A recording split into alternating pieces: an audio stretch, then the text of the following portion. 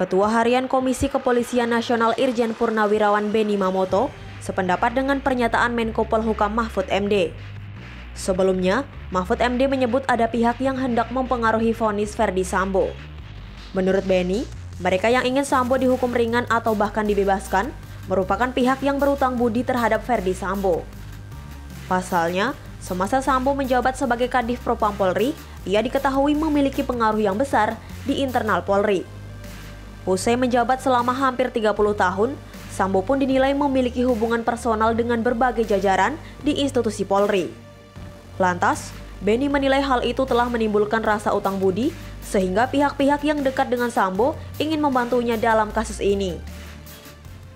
Nah, bagi mereka-mereka yang dulu pernah ditolong, pernah dibantu, ini tentunya hutang budi hmm. pada yang bersangkutan.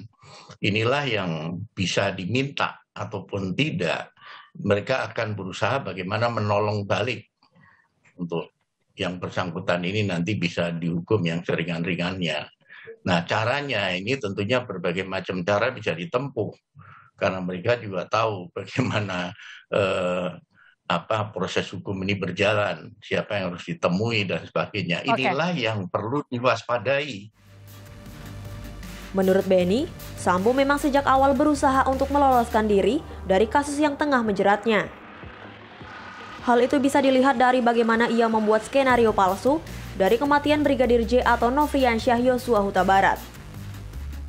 Selain itu, juga langkah Sambo yang mengajukan banding ke Pengadilan Tata Usaha Negara lantaran dirinya tak terima dipecat oleh Polri.